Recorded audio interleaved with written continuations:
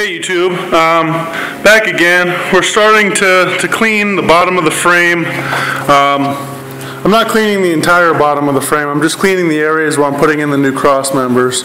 Um, there's going to be one here, um, this one will be removed and there'll be a new one put in here. There's going to be one here, here. Again, this one will be removed and, and there'll be a new one put here and then one right here. There'll eventually be one here, but we're not gonna do that just now because we're gonna eventually rebuild the, the entire front end of this trailer, the tongue set up and everything. That's just not happening in this go around. So we're gonna use some two inch angle, um, quarter inch, um, quarter inch thick. So, okay, so I've got this brace clamped in. It's all squared up clamped in. It's actually, I chose not to square it up to the ends because I don't know how square the frame of this trailer is, so I'm squaring everything up to the axle center. Um, so that's squared up, and then I have this brace clamped in already, and that's squared up. So I'm getting ready to weld that right now. I'm gonna show you guys that process. Once I get that done, I'm gonna re remove this one and probably this one before I weld any more braces on.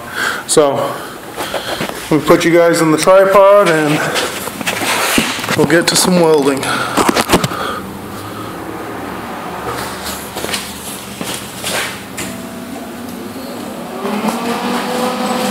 And no, I'm not wearing the proper welding attire.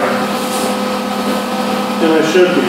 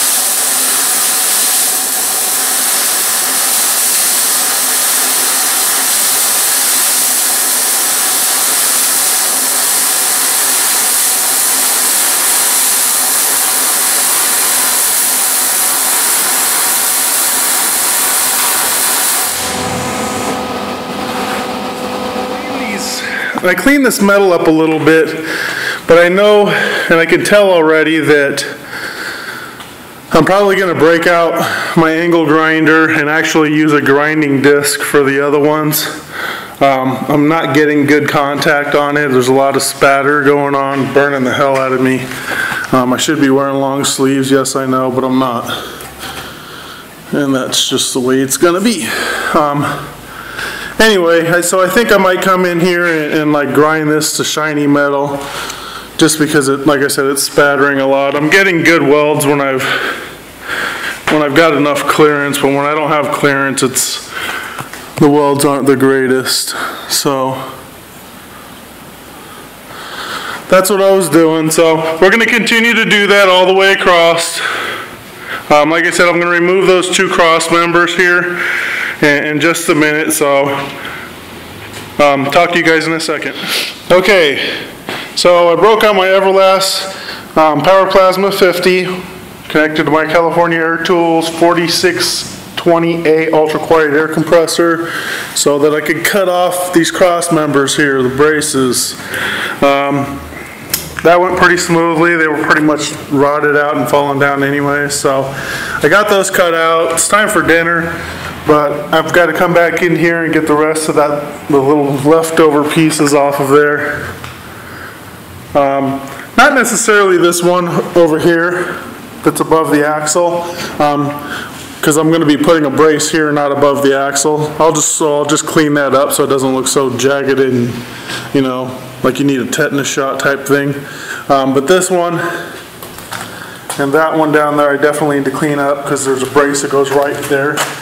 And, and the same thing with this one and this one.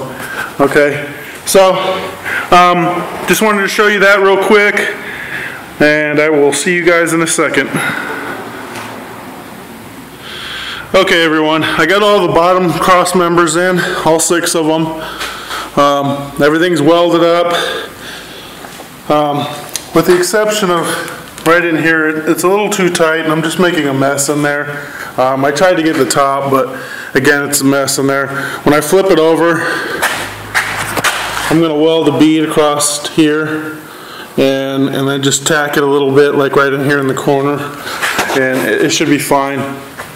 Um, it's got a full bead on that side. I might actually put one right there as well, just to, just to ensure that it's, you know, it's nice and strong. but as far as everything else is concerned on these cross members, everything's welded up, everything's good to go, and we're about ready to lay this thing, thing down flat and start working on the, the vertical pieces that go for the, the side railing. And not much more left. I would say we're about halfway done. So, talk to you guys in a minute. Okay, so trailer's done for now, stage one anyways. Um, the owner's getting ready to come pick it up. I know I skipped a lot of my videos, but I don't think it really makes too big of a difference. Basically, I put these vertical posts in. I put the little shackle here, the tie down shackle. So there was one, two, three, there was actually four back here and five. Um, there's a shackle back here, one there, and then one back there. I relocated the spare. The spare was over here on the tongue. I put it over here. Basically, there was a vertical post already there. I put one next to it, put some 3 16 plate, and welded the, the tire bracket onto there. Um, burnt the hell out of myself. And the same thing on this side. Um, there was a bunch of this strip here. See this flat bar that's laying there? It's like one inch flat bar. It was all, you can see here where I got plasma gouged it out of there. I don't know why, but they had that flat bar sandwiching the plywood that was for the floor of this. They had it sandwiching in there instead of using bolts. So I went and gouged all that out of there so that the owner could lay plywood back in here and not have a major ordeal on his hands trying to do that. So it's all wrapped up. I think it turned out good. Stage two is going to be completely rebuilding the tongue of this trailer and potentially, um, depending on if the owner decides he wants to do it, um, building a toolbox up here in the front to put the winch in, and he's going to go with a bigger winch. But to put a winch and the battery in, and some tools, some straps and stuff like that. Um, we're also going to be swapping out that axle at some point and obviously putting fenders on it. So anyway, I just wanted to finish up this video series since the trailer's done. Uh, subscribe, comment, like. Um, check out the links in the description. Alvarez Metalworks is my website, alvarezmetalworks.com. Please check it out. Um, like my Facebook page. Uh, you'll find the link either on alvarezmetalworks.com or you can look at my channel's homepage. Um, check out Everlast. I use my Everlast Power Plasma 50 for this and my Everlast Power iMig 200 for this one as well. So, Thanks for watching and talk to you guys later.